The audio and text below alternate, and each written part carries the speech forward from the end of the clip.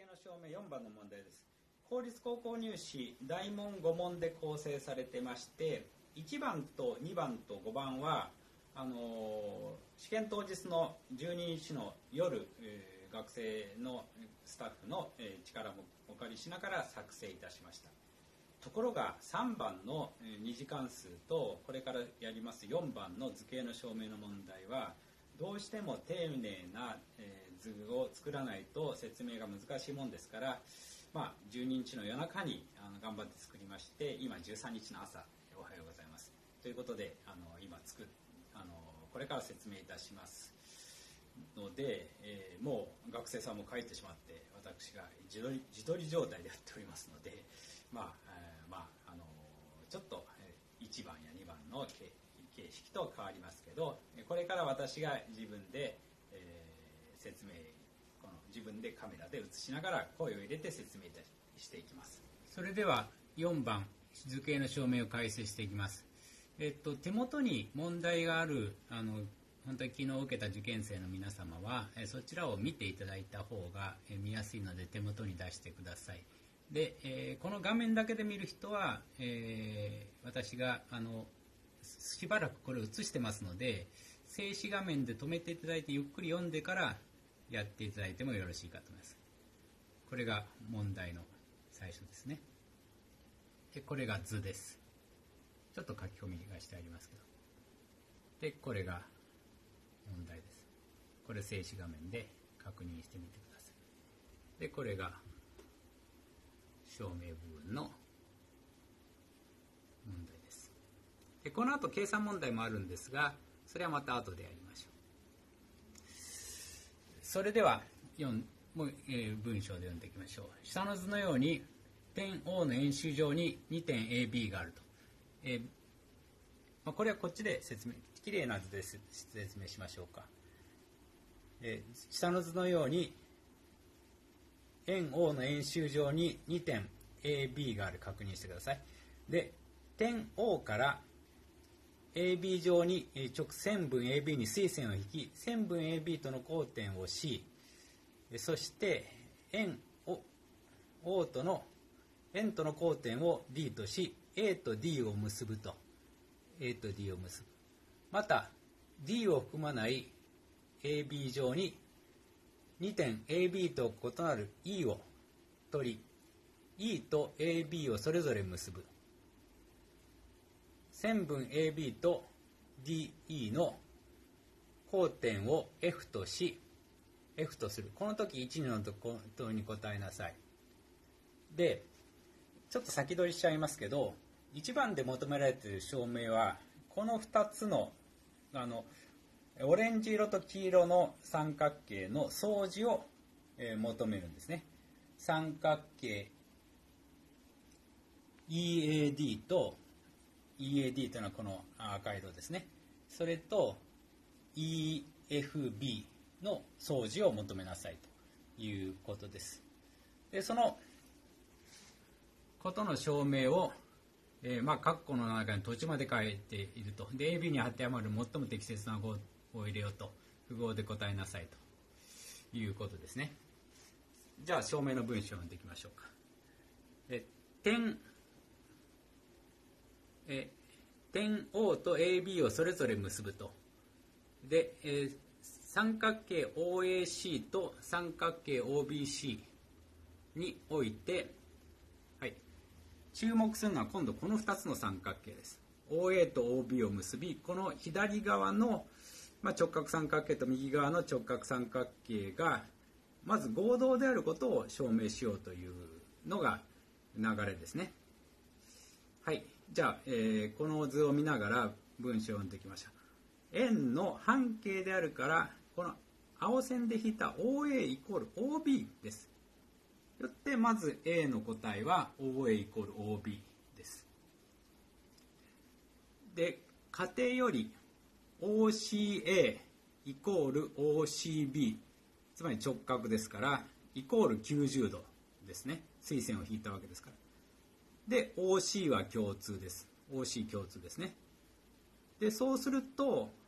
何々がそれぞれ等しいからこの2つの三角形が合同ですよというところまでをまず前半で証明してます。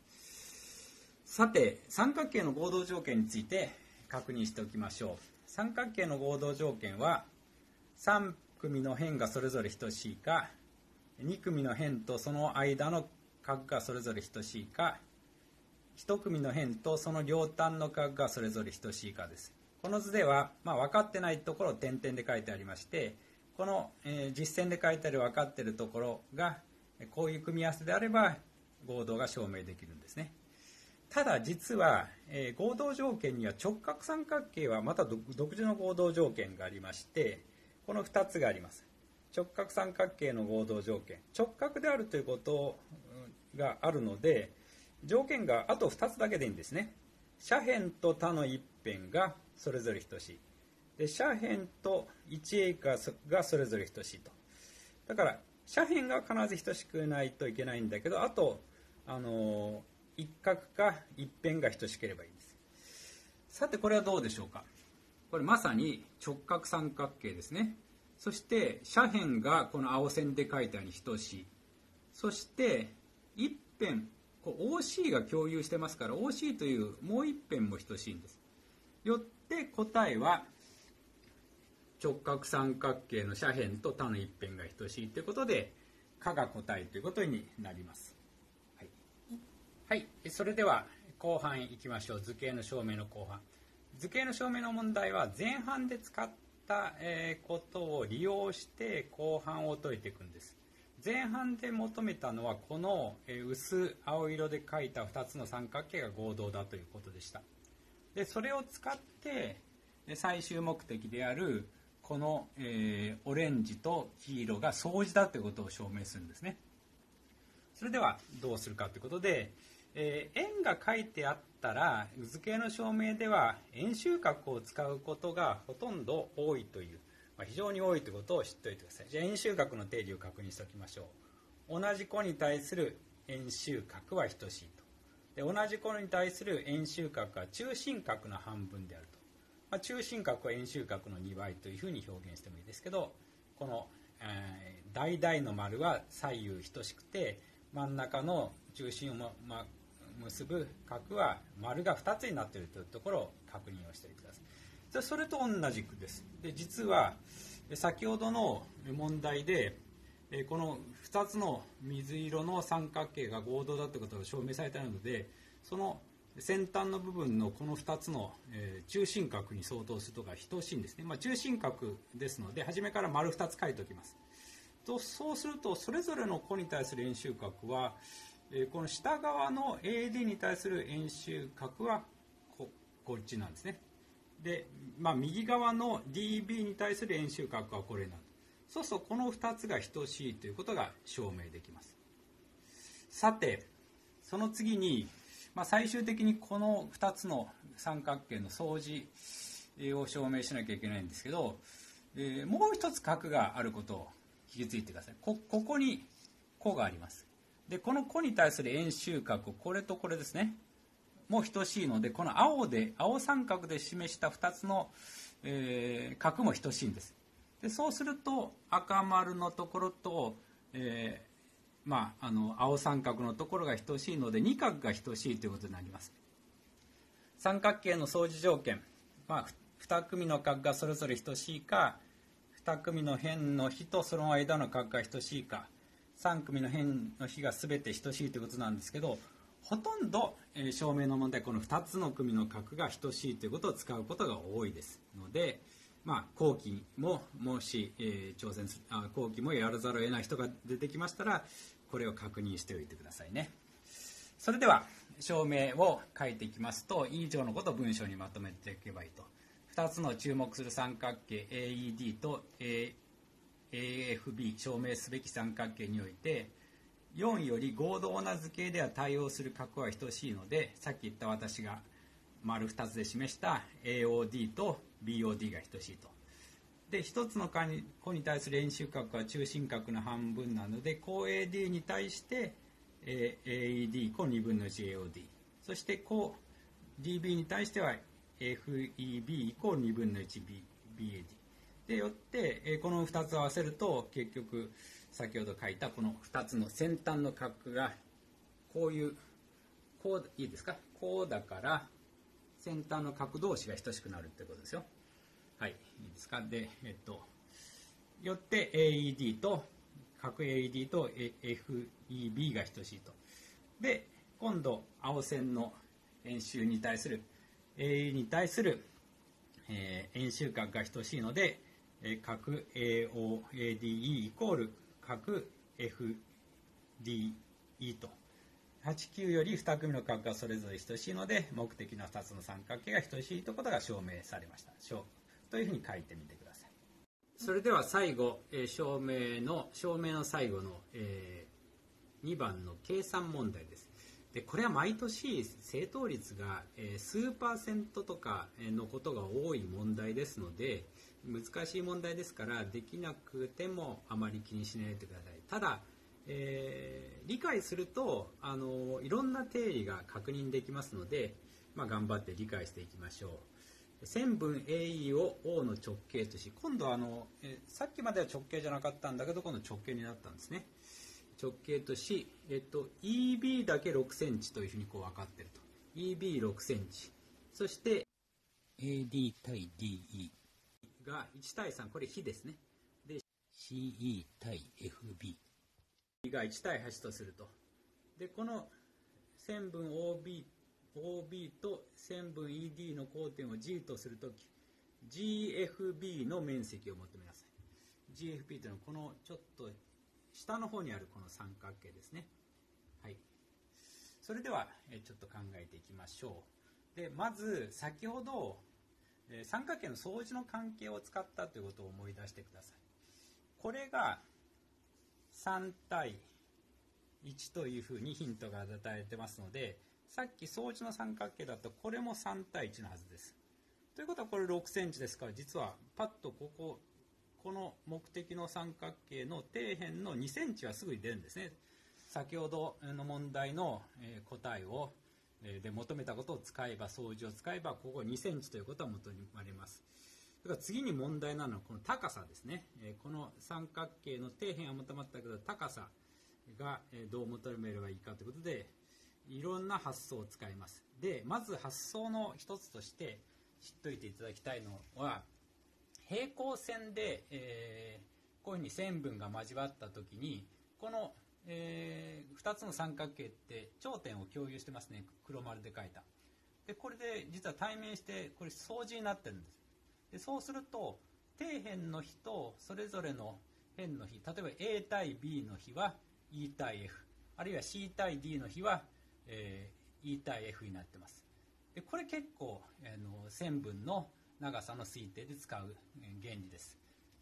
さてもう一つ重要な定理があります。タレスの定理ということです。これ円周角の定理の一部なんですが半円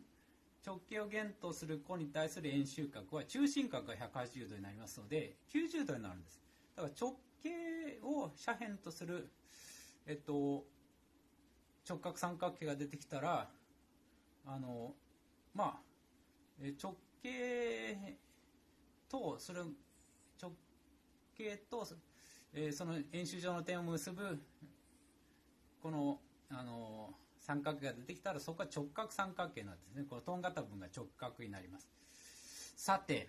それでここで気づいてほしいんですがこの、えー ABE ですね。実はこれ直角あの AB AE が直径ですので AE、えー ABE は直角になります。そうすると OD も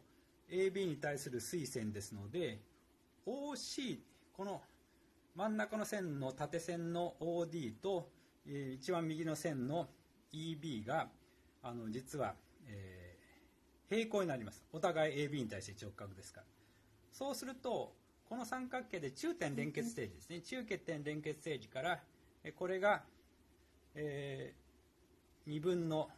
これの2分の1になりますのでこれが3センチになります。さてその次に、えー1対8という比率を使うんですね。説問に書いてある。